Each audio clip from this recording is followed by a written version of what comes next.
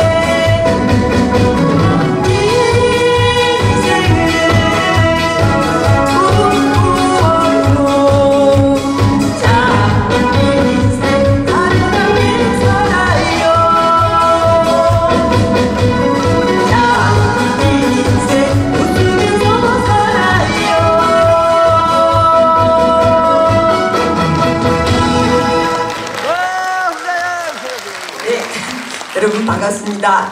오늘 이렇게 전 세계적으로 가장 정말 너무 멋있죠 우리 김세영 가수님과 좋은 친구들. 네. 네. 그리고 우리 어, 죽어서 수의 옷을 입었을 때 수의에는 주머니가 없다 그러잖아요.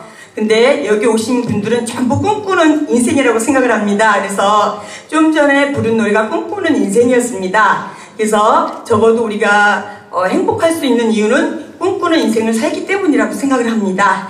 그래서 어, 여기서 오늘 많은 꿈들을 꾸시고요. 행복을 가득 안고 이렇게 가시는 시간이 되셨으면 좋겠습니다.